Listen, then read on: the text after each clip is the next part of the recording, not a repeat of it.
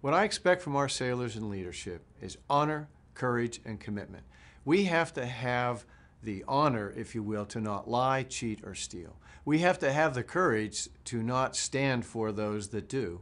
And we have to have the commitment to the institution to remember it's not about our shipmates, it's not about just taking care of them, it's committing to the institution. When we raised our right hand, we said we will support and defend the Constitution of the United States against all enemies, foreign and domestic, and we will bear true faith and allegiance to the Constitution. And that means the institution. So we need to talk about it, and I charge our leaders out there to talk about what our values mean because they are the foundation of what we're about.